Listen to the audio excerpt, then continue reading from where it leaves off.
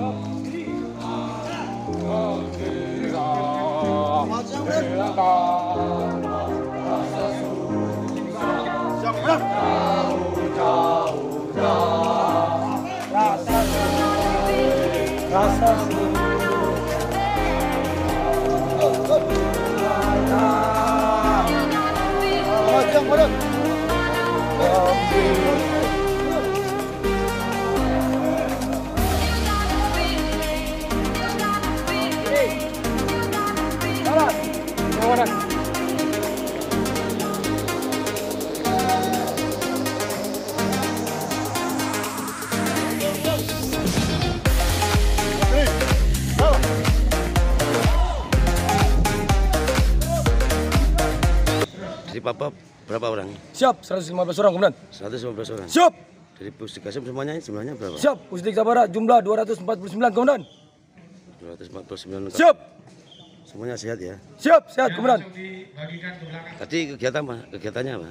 Siap, hari ini kita bergabung dengan TNI komandan untuk melaksanakan kegiatan komandan. Ya. Kegiatan dari mana tadi? Siap, siap komandan. Berarti langsung turun ke Pusik Brimob ya. Siap komandan. Semangat. Siap, Ya kurang beberapa bulan lagi. siap. Tinggal enam hari komandan. Tiga enam hari aja. Siap, Ya semangat ya. siap semangat. Tetap Menjaga NKRI. Siap, Ya. Ada kata-kata hari ini. siap. Tetap tetap semangat untuk letting-letting saya di seluruh Indonesia. Siap komandan. Ya, masih ya. Siap. Nah, beliau yang mendapatkan bintang sakti. Bintang sakti itu jarang yang dapat, hanya beberapa tertentu. Dari TNI juga ada yang dapat, dari kepolisian juga ada. Kita harus merasa bangga dari TNI dan dari kepolisian bahwa senior-senior kita, pahlawan-pahlawan kita banyak yang mendapatkan bintang sakti. Sekarang sudah tidak ada lagi yang bisa mendapatkan bintang sakti itu. Bintang sakti itu dulu karena mereka berhasil invasi ke Irian Jaya, sekarang Papua, kemudian berhasil menjadikan Papua atau Irian Jaya itu menjadi bagian daripada NKRI. Mulai mendarat di Pulau Dom, Sorong, Rumbati dan sebagainya sampai menancapkan bendera di sana. Nah itulah kehebatan eh, pasukan-pasukan khusus kepolisian di bawah pimpinan M. Yasin. Korbannya juga banyak. Nah yang dari TNI banyak juga ya. TNI Angkatan Darat, kemudian Laut, apa banyak. Ini kita menjelaskan filosofi sejarah Polri. Nah kemudian para senior-senior ini yang sudah dari sana di polisi istimewa kemudian berbentuk menjadi eh, mobil brigade disekolahkan ke Amerika tahun 52 itu sekolah ranger. Nah pulang mereka-mereka beliau-beliau dari sekolah ranger itu membentuklah sekolah mobil brigade yang tempatnya pertama adalah di Pusdik Sabara. Jadi markas komando itunya di Pusdik Sabara.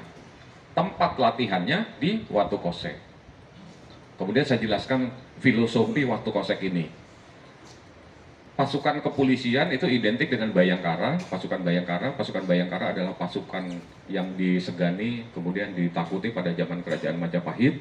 Situs kerajaan Majapahit itu sekitar kita ini, sekitar kita, sampai Trowulan. Kemarin waktu anda ke wisata, wisata Widya Wisata ke Trowulan, itu adalah lingkungan kerajaan eh, Majapahit. Tempat latihannya di sini, di Watu Kose ini. Tempat latihannya pasukan Mayangkara atau pasukan Bayangkara di sini. Di Watu Kose ini. Makanya di sini semuanya batu-batu.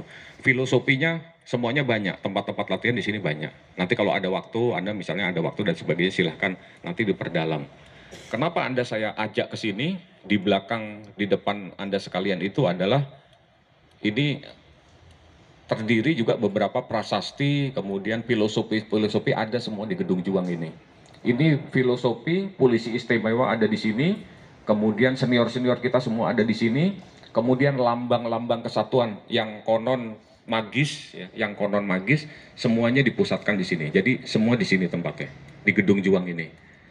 Kalau nanti suatu saat Anda ada kesempatan dan sebagainya dibuka, Dikmaba TNI AD Ahmad Alfarisi dari mana? Siap dari Lamongan, Jawa Timur. Dari Lamongan, Jawa Timur. Kesan dan pesannya gimana? Pesan pesan di Sabah saya sungguh senang dan ada hal yang menarik yaitu kita bisa bersama-sama dengan teman-teman senusantara bisa berlatih bersama bisa berlatih dan lain-lain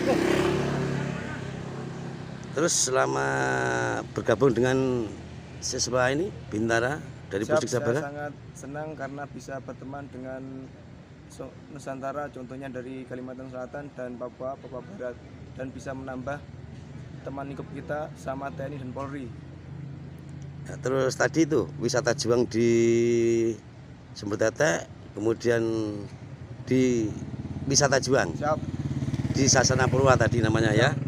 Bagaimana? siap sangat menambah wawasan saya tentang Polri dari awal pembentukan Polri sampai hari ini. Ya. Terima kasih ya Ahmad Al Farizi. Siap. Ya. Ya semangat jaga kesehatan. Siap, terima kasih. Ya. Saleh, saya tanya selama pendidikan di Pusdik Sabara, kesan dan pesannya apa? kesan dan pesan saya eh, kesan saya kami dari Papua Kapolda Papua kami mengikuti proses pembentukan pendidikan di Pusdik Sabara kami rasa senang bangga terhadap eh, Pusdik Sabara selama proses pembentukan pendidikan di tempat atau di Pusdik Sabara kami dilatih mental karakter eh, kita saling mengenal suku budaya antara kita anggota Polri. Eh, terus maksud dan tujuan itu supaya kami menjadi polisi yang profesional untuk menjaga masyarakat kita seluruh Indonesia. Ya. Terus tadi kegiatannya, kegiatannya apa hari ini? Hmm, Pada hari ini kami melakukan kegiatan kami, baik itu kami dari polisi maupun teman-teman atau rekan-rekan kami dari TNI. Kami melakukan kegiatan mendaki gunung mencapai tujuan di Sumber Tete.